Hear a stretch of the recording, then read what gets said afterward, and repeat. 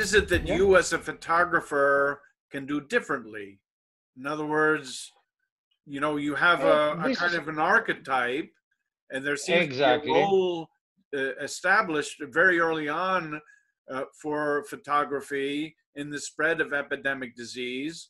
But now, yes, what do we do differently? I mean, how is the way you work different from the way people might have worked 100 years ago, 50 years ago, even 20 years ago?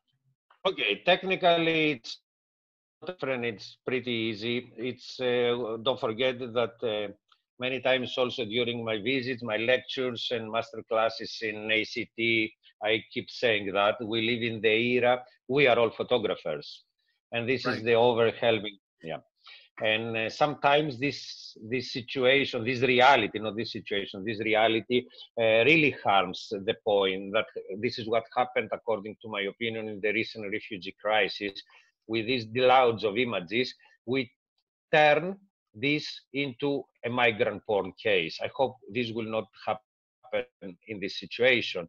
For me what what is the role and what i'm doing? And this is what i meant before when i saying that we have to move away both from a role of data providers in cases of emergencies and from the role of deconstructors of science with the aim to build meaningful interdisciplinary collaborations.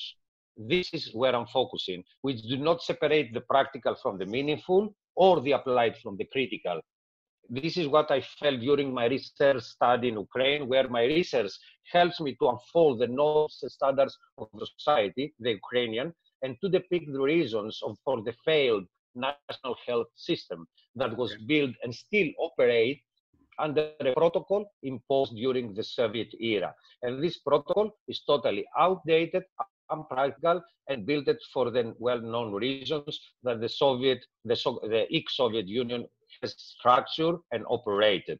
Okay. The same happened in the streets of Athens recently. Right. On the street of Athens, where I follow street work teams that offering assistance and solidarity to vulnerable population, okay. the homeless, the IDUs, intravenous drug users, the sex workers, etc. What I call the tribes of the so-called dark city center. In both cases became visible what can happen when the social fabric of society gets apart and fails to provide what has been structured to do to offer to its citizens. Okay. A simple example, not to elaborate heavily on that, was although I live on the street of Athens with this with these tribes, this population, this vulnerable population, for uh, more than three years during my research study of uh, uh, the homelessness and the drug using in uh, the streets of Athens. I thought I have seen everything and I understood, and I I, I, listen from this population asking, really asking uh, desperately for potable water in the center of Athens in 2020. Please, guys, potable water. And we were also surprised because we never thought that the potable water can be a, such a scarce natural resource for them. But imagine the city center shut down. All shops are closed. Nobody is walking around. So okay. there is not even a suitable worker. And thanks God, due, due to a campaign we ran on social media, we got from a company 7,000 bottles and from another company, uh, water company, 5,500 bottles of water. And these were people that they found us on social media. And this is something that give us a hope about the use of social media, which is on the 85% is just distribution of false news, fake news, or hate speech, etc. Sometimes this is also working. And this gives also a hope that the society can readjust itself. Also, something promising, because I like to focus on the promising things during this situation, was that suddenly, I don't know why, the previous municipality governance, they couldn't do that. Now we have two huge, beautifully occupied, brand new, renovated buildings, one offering, if I'm not wrong, 400 beds to the homeless of Athens, uh, cleanliness area, laundry, shelter. Yeah, a real shelter with a daily station, health support, etc. And the same, they rented uh, a hotel in the center of Athens for the IDU users. Ah, okay. So they can register themselves anonymous, and this is really something positive. So they do not impose any rule; they just offer safety, and this is totally in itself because this is what we have to understood. This is what uh, people in the industrial revolution understood the main conditions the workers were living during the emergence, the, the yes, the emergence of the industrial revolution without piping system, without sewage, without no uh, roads. Yeah. All running water, no toilets, no nothing. People were stuck in so-called houses. They just working in the factories. But because of the high death rate, the industrialists they understood that this is also their asset. The workers are asset. And for the first time in the history, they understood that and improvement done. So I hope this pandemic will bring in issues like that in a real discussion and a real action, not just hope, praise, or just words in social media or in television or worse than that in international conference where the academia is gathered, but everything stays within the family, as many times I'm saying for these conferences.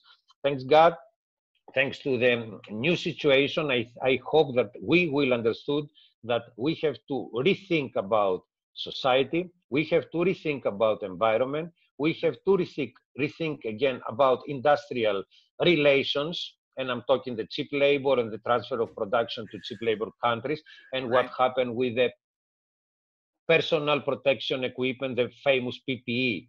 That uh, doctors in England they, they don't they don't have even gauze. I mean to wear.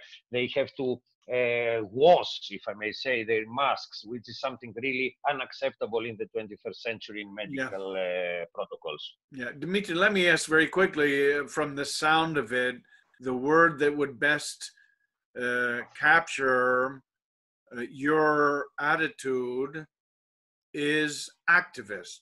Do you consider yourself to be an activist? No, I'm uh, just an outsider. As uh, Henri Cartier-Bresson said in photojournalistic reporting, unfortunately, you are an outsider. I was in Ukraine in uh, really inhumane conditions inside corrupted sanatoriums and you know uh, uh, the bacillus of uh, tuberculosis is more infectious comparing to yeah. corona to SARS-CoV-2 coronavirus. Mm-hmm. but I was wearing a state-of-the-art protective equipment, had a full, and I still have a full face mask with special uh, PMMA glass in front and special medical filters. And more important, the same applies to the street work in Athens. I can leave anytime. I can be safe right. on in my normality, in my house, in my shelter, in my hotel, in wherever. The same applies to a war zone. What matters and what is important are the people that they are living there, working there, and offering, as we speak about this activism there. So the people they are offering voluntarily street work, assistance and solidarity to the vulnerable population, these are the real activists. Our role is to make the invisible visible and to offer what I said before, a new reality and that this is not just a medical term. It's our society, our life. It's our face in a mirror. Is how we deal with mortality, how we deal with humanity, and how we deal with the environment, and the built environment that we create and the natural environment that responds. A small example is the Ebola outbreak. The moment they break into the West Africa and they start deforestation of the palm trees, all the bats, they escape. And the bats came close to human communities. Right. And this is a true story. I mean, this is a fact. And in a tree, thousands of bats gather, and a two-year-old boy start playing under the tree and got infected. And this right. is the zero patient of the Ebola outbreak epidemic. And this is the result of the human intervention to the environment and to society at large. I'm not isolating environment. I'm not deeply environmentalist because I consider that everything is interrelated and correlated. Okay. Okay. Dimitri, you uh, you're out in the street and you described it to me as a, a living hell. Where do you draw your personal inspiration to keep going, to keep seeing what you see, to keep trying to hold the mirror up? Where does the inspiration come from? Um, it's a personal thing. It's a matter of again. I I have the same question and I have the same issues as I mentioned before about mortality, about life, about our role in the planet, and uh, through my research, I always try to correlate. Uh, as an example to explain what I mean is I just, uh, you remember the two images that I put side by side. Right. The one that was uh, taken in 2018 in Odessa Regional uh, Sanatorium for tuberculosis, and the one with a corpse, with a dead body on the floor, uh, in correlation and relation with the other one, that the removal of corpses in uh, Manchuria in 1910 this is where I drove uh, inspiration on that. From the books, from the studies, from the research, from the community, the academic community I participate, from the real, from the everyday life, from observing uh, citizens' behavior. I'm really furious that uh, people we in Greece were doing so good and this is really good and we saw that at the end we carry virtues that were unknown to our genes discipline I thought discipline was taken out from our D, uh, DNA, but finally we take it out. It's, we are a nation of surprises, historical surprises. We are able for the best and for the worst, as okay. we all know that.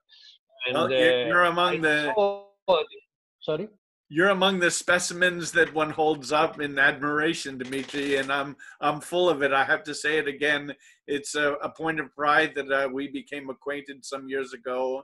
You come and lectured at the American College of Thessaloniki at the Dukakis Center. Same applies. Same applies to me. The and, same for uh, me. It, it's quite remarkable. It's something that I I, I really uh, was keen to share with uh, people who follow the work of the center they say here is a here's a person that we should draw inspiration from.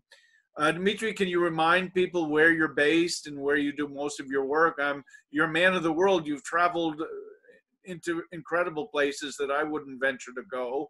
But just give a, um, a, a little. Yeah. Okay. location. Location speaking, we have established ourselves as a family together with Amalia in Nicosia, Cyprus, since uh, three, uh, four years now. Uh, this is our base. We still keep our home in Greece, in Athens, uh, because it's uh, our property. And uh, uh, nowadays we've been stuck as a decision to Greece because Cyprus is smaller and the infrastructure is not so organized as Greece. Just to point, just to mention that a national health system established in Cyprus only last year. They, they didn't have a national health system as we have here, the famous SC.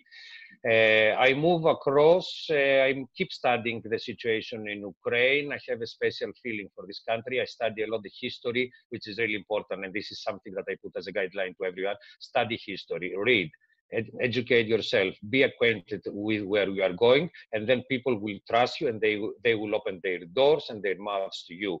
So Ukraine for me is like something that I'm still exploring uh, on all of the aspects. Uh, uh, of course, Middle East and uh, my ties with the Kurdish uh, tribe in Iraq, because there are several Kurdish tribes. I mean, Turkey I don't have any special relationship with the Kurdish tribe in Turkey, but in Iraq I have family ties, and I, I really study all the area of Levant that okay interrupted now disrupted if i may say by coronavirus and my research studies uh, as a fellow in uh, university of cambridge studying uh, trauma and memory as i mentioned before involving uh, medical and epidemiological better to say photography on that but also research study words and images, images and words.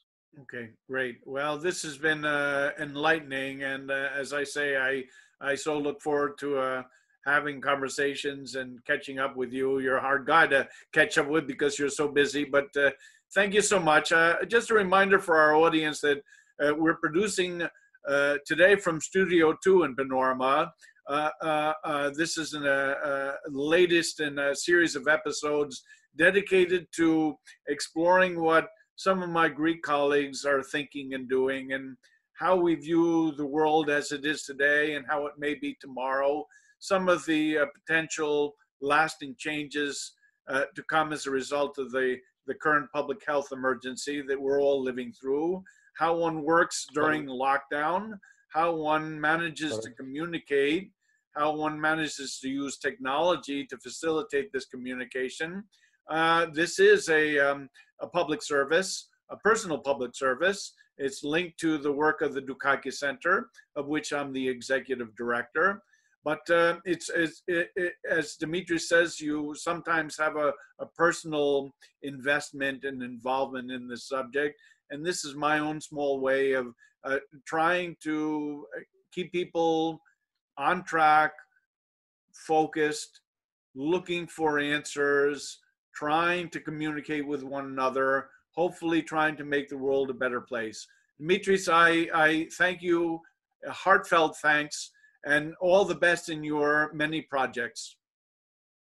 Thank you also. It was a wonderful discussion. I really like it. And also, it was a time for me to take out for myself what became within me, and this was the principles that drives me in exploration of the society, also research of the current situation. I hope and I don't hope, I'm sure that uh, the outcome uh, of this uh, series of episodes will be a total, uh, will be consolidated in a volume that uh, will help uh, society to discuss the issues of the aftermath. Because what crucial, what is the most important, what really matters to me is the aftermath of every single thing I investigate. I don't care about the sort of a bullet from a gun in a war because this was predetermined before. What really I, what I really care is the aftermath, and the same applies here because it's a war from all of its aspects. A war is not a buzzword or a flashy war. I don't want to put an extra importance on the current importance people, we have to understand that we live in a pandemic. And I advise all of the audience to really study the term. It's not ironic, it's from my heart to study what the word pandemic means. And I'm sure they will understand that there is no other protocol in preventing that. We don't have junta. Nobody would like to really, it's not a conspiracy to bring us to inject us the liquid uh, uh, microchip or whatever. I don't want to elaborate on that. I, I, really, I'm not expecting people to change mind because conspiracy will always drive, will drive some minds. Yeah. This is a case, but many of our fellow citizens, they can understand that it's not junta, it's not drama, not to be able to go since you are in Thessaloniki to visit Nea Paralia uh, is not a drama. Okay. We can really live because human life the progress, the sustainability are more important for my personal work in a specific point. I can do work, I have to walk, and we all have to walk, even in dark, small streets. And to understand that not all of us, we are living in big houses with visibility, with view, with open air. Many of us, they live in basements, in the second floor, not seeing the sky, in apartments of 45 square meters, even less, and they still manage to do that. Right. We all together, and we will prevail. This is what I. This is my point. We will prevail. Well, well said, Dimitri. I'll leave it at that. We'll be signing off now. Thank you very much. Bye then.